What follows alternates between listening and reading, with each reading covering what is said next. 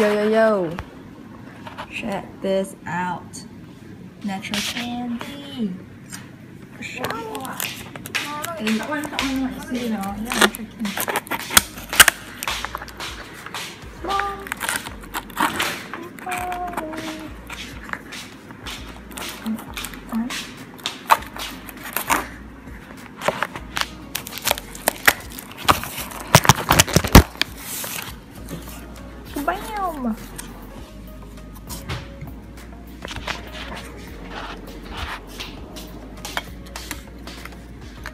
Alright. Hope I haven't cut myself. Go in one hand. One arm. Some people say you gotta wait for persimmon to be like super mushy. But I find that this variety tastes just fine. Alright, taste check. Taste test.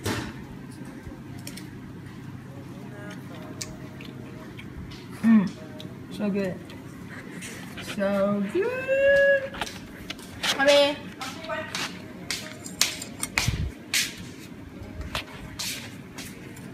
Gone.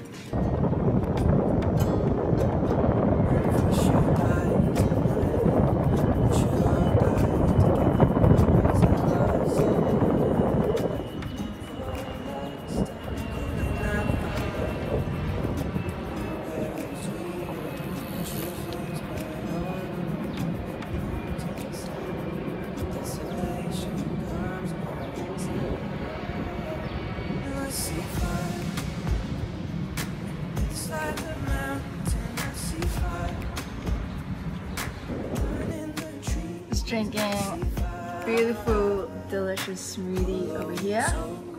It's got uh, frozen bananas, papaya, a bit of coconut water, and just plain regular tap water. It's delicious. Shout out to Plant Based Athlete for the idea. Just uh, checking up on my baby seedlings. The seeds have germinated after I think about almost 10 days or less. Yeah, so these are spinach spinach seedlings. Seems like the celery one hasn't germinated yet.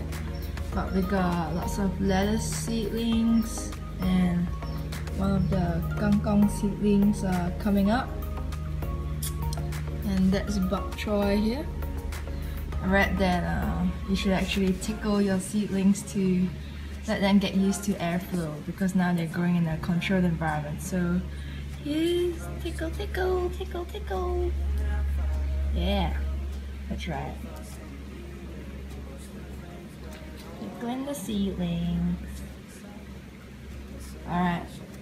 Um, I also read that you should wait till. So right now these are the cotyledon leaves. These are not their first true leaves, and uh, once this uh, another set of another set of leaves come out, those are the actual the actual first true leaves, which means it's time. It would be a good time to transplant them to a nutrient-rich environment.